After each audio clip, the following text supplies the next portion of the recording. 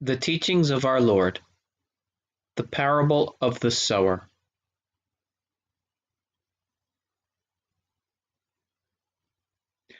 A sower went out to sow his seed, and as he sowed, some fell by the wayside, and it was trodden down, and the fowls of the air devoured it.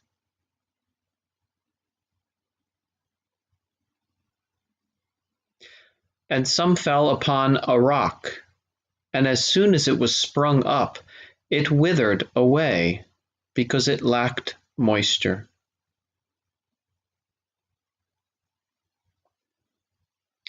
And some fell among thorns, and the thorns sprang up with it and choked it.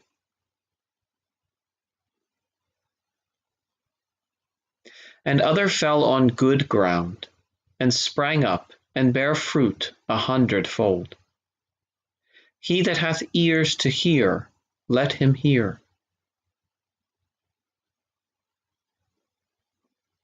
Now this is the parable. The seed is the word of God.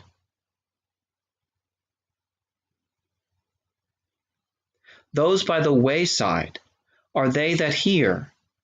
Then cometh the devil and taketh away the word out of their hearts, lest they should believe and be saved.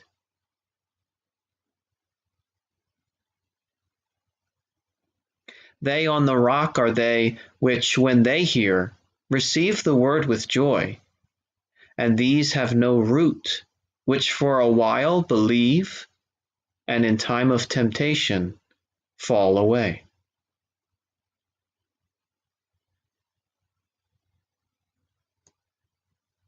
And that which fell among thorns are they which, when they have heard, go forth and are choked with cares and riches and pleasures of this life, and bring no fruit to perfection.